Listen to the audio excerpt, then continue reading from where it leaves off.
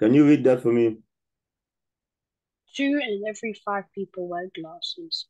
For Okay. every one pound Whitney has, Mo has one pound fifty. For every two hundred and twenty-five grams of flour, hundred and fifty grams of sugar. Excellent reading, Luca. So the way you do this kind of question, Luca, is two in every five people wear glasses. So what that means is either you wear glasses or you do not wear glasses. hmm Okay. So two people wear glasses. So how many will not wear glass? Three. Three. So the ratio is two is to three. That two dot means two is to. So we say, we will say as two is to three.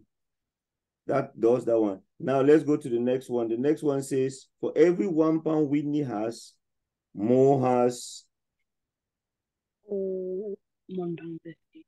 one pound fifty. So what we do is we'll put, the way I do, I put Whitney on the left and Mo on the right.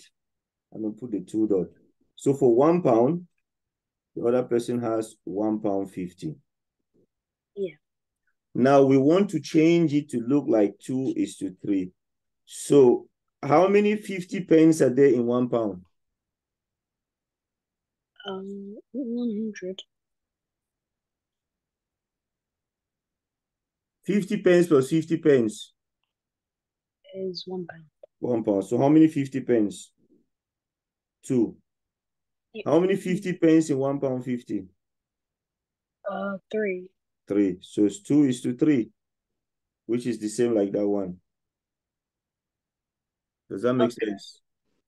And Yeah. then for the third one, for every 225 grams of flour, so I'll put flour,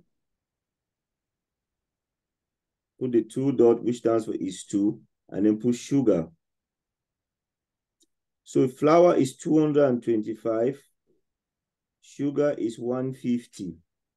Now we need to simplify. If you divide by 25, how many 25s go into 225? Um, pardon? How many 25s go into 225? So 225 divided by 25. There's four 25s in 100. Nine. Nine, correct. How many 25s go into 150? Um, five. No, six. Six.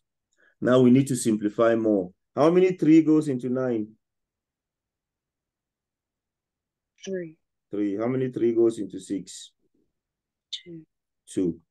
So it's three is to two, which if you swap their position, it will still be two is to three. So it's two is to three, two is to three, two is to three for all of them. That means there's similar ratio. I'll let you write that all of that for question eight. And when you finish, you let me know. We'll go to the next one. Okay.